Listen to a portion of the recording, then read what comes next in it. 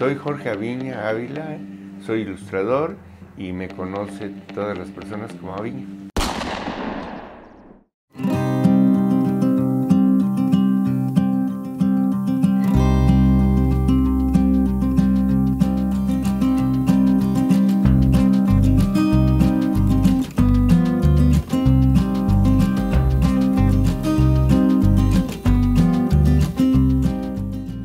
Con el tiempo eh, hice muchas eh, eh, portadas para varias editoriales y conocí al director del libro vaquero.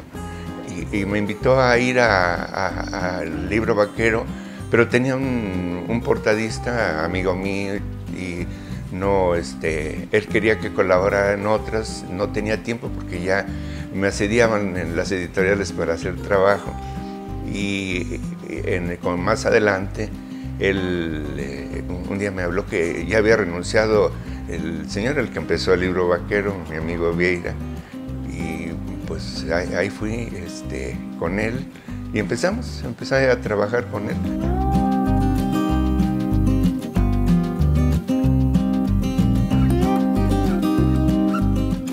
En ese tiempo tenía mucho éxito, era una producción mínimo 650 mil a la semana del libro vaquero.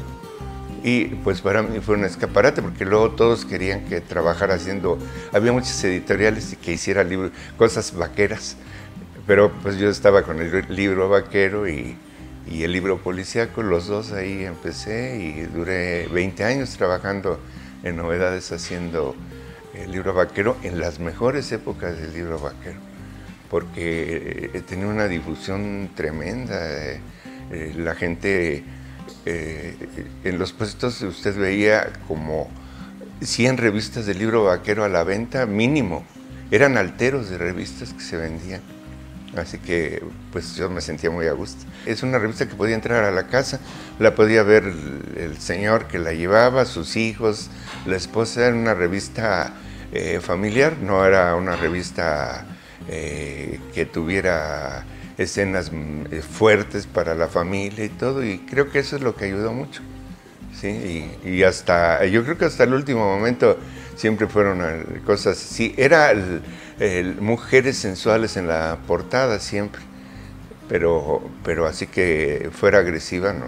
Pero el libro vaquero sigue funcionando mucho porque es, es como una referencia. Y usted eh, habla del libro vaquero y todo el mundo la, conoce. En una exposición que hubo hace unos años eh, eh, en la Plaza La Conchita del libro vaquero, que pusieron carteles del libro vaquero en la calle, una señora se me acercó y me dice, ¿sabe qué? Yo aprendí a leer por el libro vaquero porque quería saber lo que decían y empecé a, y aprendí a leer y, y me dio mucho gusto que la señora era grande cuando empezó a leer, pero fue bueno.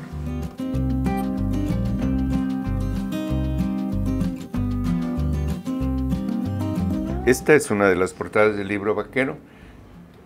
Lo, pues como pueden ver, eh, narra parte de la historia. Eh, eh, hay una escena de, dentro de la historia del libro Vaquero que pasa esto. yo lo tomo y ya con eso este, hago la portada.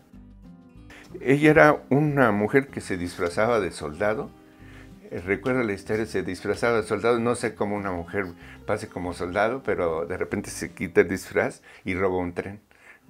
Así que este, sí, algo me acuerdo de eso. Esta era de las más provocativas de su época. Pero en sí, en general, siempre la mano tapaba situaciones y, y este, y era interesante buscarle los ángulos dentro de todo la composición eh, las mujeres de este lado, porque las revistas en los puestos estaban así.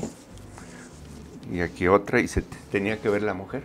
Eran argumentos muy simples, pero muy bien elaborados. Eh, los primeros que, que yo, este, yo trabajé eran de un, señor González, que fue el principal argumentista de, de libro vaquero. Casi todas estas son de, del señor González.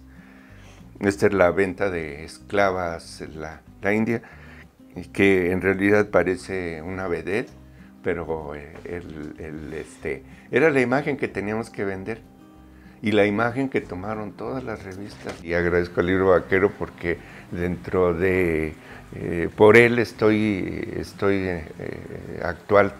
La gente me, como ustedes, me entrevistan y, y si pongo una exposición del libro vaquero la gente lo va a ver. A veces el libro vaquero llegó a tener almacén hasta de un año de un año, eran muchos. Trabajamos muchos dibujantes dentro del de, libro vaquero. Eh, lo bueno que yo hacía las portadas.